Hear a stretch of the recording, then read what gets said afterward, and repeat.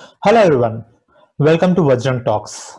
Well, I would like to first thank for the 900 members who already subscribed to my channel and looking forward for the 1000 member subscribe milestone.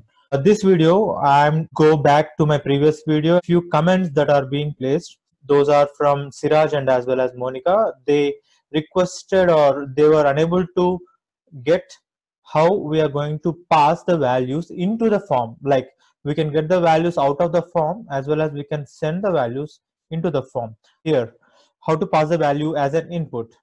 It's very easy to add inputs to a form.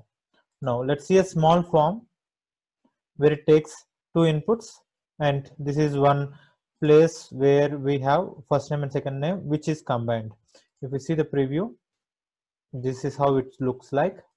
And let's go with the properties. So this have a variable called first name or full name. If you see here txt full name. And as well as here in the first name we have txt first name field key and here we will have txt second name. Now how are we passing the values into the form? To do that there are two methods. One okay let's press some save button and let's close this. To do that there are two methods. One is using form field collections. The second one using form fields input data which can be a json string. Right now i'm using only collection so that i can show you how exactly it's being done.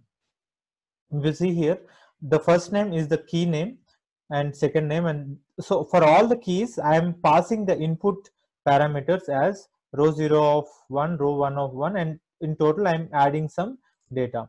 And the data can be these values. These are the inputs. Let me show you the path. First i'm reading the excel and i'm looping through all the rows. And for each row i'm showing the data in the form. And i'm taking the json using deserialized json which will be given out as a json object. And in that json object we'll have a key value pair if you see here there is key and a value. This is a key and a value. And finally this is a key and value. And also we can have whether a button is clicked or not. If the button submit is true it is directly saying that user have clicked the submit button not the cancel button. And finally here. If some user clicks on submit button i'm going to write that particular value which is sent out in the JSON into this particular Excel sheet. Let's say a scenario where there is an Excel sheet and users continuously need to verify particular fields. Now, if they feel that the complete details are okay, then they can press continue or else if they want to edit it, yes, they can do that and they can submit it so that the new data is being saved. Let's run this and let me show you the data. Run so here we have 1 and a. So i have kept i have disabled both of these so that i can have only one which is editable. Now here we have this a1 which can be saved. Okay i want to save this. Okay this is updated. Now i just want, don't want to have this like this. So s2 full name. I just want to make an update. So instead of having the existing value so I've saved it and if you can see the value is written. If I just don't want to add these values here, I can click on cancel because I have written code only for save. I can click on cancel and nothing will be saved and I can click on cancel here and as well as save.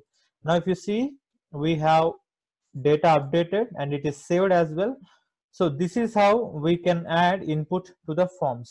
Code will be placed in my GitHub repository and the link will be shared in the video description. Keep working, keep learning, keep subscribing. All the best. Have fun. Bye bye.